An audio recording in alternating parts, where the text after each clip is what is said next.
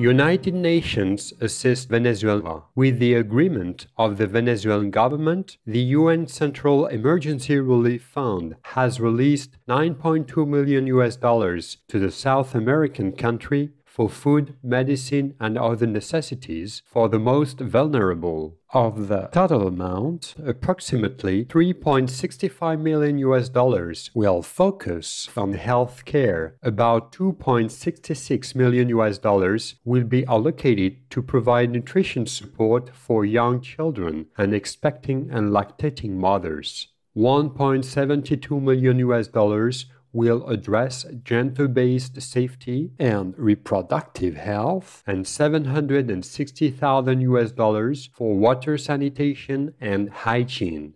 In addition, the United Nations International Children's Emergency Fund, or UNICEF, is contributing 32 million US dollars for its initiatives in Venezuela. Our humble appreciation and heaven bless you participating United Nations agencies for your very needed and significant donations. May God comfort and sustain the gracious people of Venezuela.